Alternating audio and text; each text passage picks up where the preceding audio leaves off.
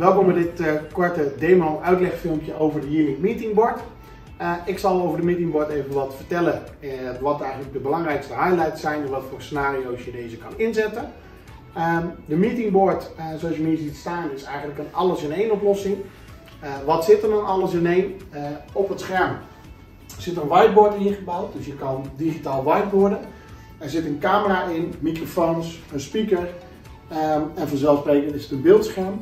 Dus eigenlijk alles wat je in een vergaderruimte nodig hebt, van kleine tot grote ruimtes, is ingebouwd in het meetingboard. Dit is een product dat ontwikkeld is samen met Microsoft, um, gekeken naar de wensen van de meeste gebruikers voor vergaderruimtes. Um, als er gekeken wordt naar wat is nou de meest voorkomende uh, gebruik van schermen binnen ruimtes, dan is dat het presenteren, dus het laten zien van content op het scherm, het kunnen whiteboarden in de ruimte en het kunnen video vergaderen. Al die oplossingen vind je in, uh, in deze oplossing geïntegreerd. Als eerste het whiteboard. Uh, je kan direct naar het whiteboard toe gaan, uh, offline, op alleen het scherm, dus in de vergaderruimte. Eventueel in Teams meetings is het ook te doen door dus online samen te werken binnen een whiteboard. En door het whiteboard te openen kun je gewoon direct met je hand of met een pen schrijven en gebruik maken van het scherm. Het voordeel van de Microsoft Whiteboards is gelijk ook dat het geschrift automatisch omgezet wordt um, naar nette woorden en ook vormen aangepast worden, uh, waardoor ze direct de juiste vorm krijgen. Dus het is heel intuïtief in het gebruik, heel eenvoudig in het gebruik. De pennen die meegeleverd zijn, zijn domme pennen. Dus er zit geen batterijtje in, er zit geen uh, techniek in. Maar wat het wel het voordeel is, dat het herkend wordt of je schrijft met de pen of dat je wil wissen met de pen. En dan kun je deze achterkant, de dikkere kant, als uh, gum gebruiken.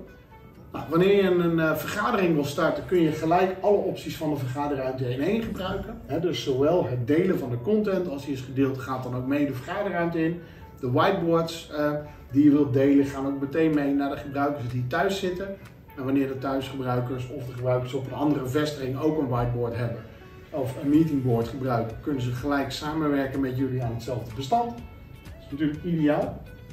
Uh, om een meeting te starten kun je dus kiezen uit of een geplande meeting die wellicht klaar staat in het uh, menu of ad hoc iemand bellen. Nou, in dit geval bel ik even naar mezelf via Teams om even de demo te kunnen showen. Um, neem nu hier de call aan. Ik zet even mijn eigen telefoon op mute, zodat jullie mij niet uh, dubbel horen. Um, het gave aan uh, de meetingboard is dat hij allerlei slimme camera- en audio features heeft om ook ervoor te zorgen dat de kwaliteit echt optimaal is. Uh, in eerste instantie past hij het beeld aan naar het aantal gebruikers in de ruimte, dus doet aan autoframing. En wanneer de tafel met mensen vol zit, uh, zal hij wat meer uitzoomen. Wanneer er twee mensen voor in de ruimte zijn, dan zal hij wat meer inzoomen. Waardoor je altijd een uh, ideale camerapositie hebt. Ook de microfoons hebben een slimme techniek. Uh, wellicht niet zo heel goed zichtbaar op de camera, maar op dit moment brandt alleen dit groene ledje. Omdat namelijk de microfoons alleen gebruikt die gefocust zijn op mij. Op het moment dat ik me nou naar de andere kant van de ruimte verplaats, zul je ook zien dat de microfoons zich mee verplaatsen naar mij toe. Uh, en zich dan op mij gaan focussen, omdat ik nu aan de andere kant van de ruimte sta. Dus uh, hij werkt met een soort richtmicrofoons. Hij kijkt dus ook naar degene waar die staat in de ruimte en waar het geluid vandaan komt, om daarop te focussen. En daardoor kan hij nog beter dat geluid alleen in beeld brengen.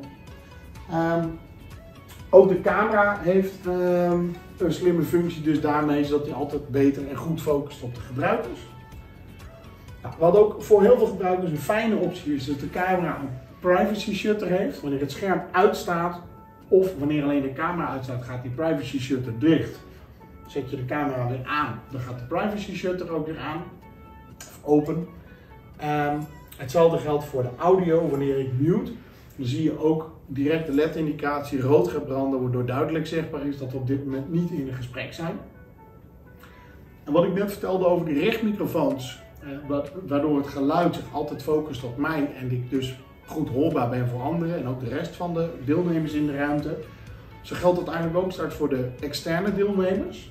wanneer u fictief een aantal deelnemers die onder in beeld heeft met wie u in gesprek bent, ehm, dan zul je zien dat ook het horen dat het geluid zich ook focust of concentreert waar diegene praat. Dus op het moment dat de deelnemer hier linksonder in het scherm gaat praten, dan zult u zien dat, uh, of horen dat het geluid aan deze kant wat meer of wat actiever vandaan komt.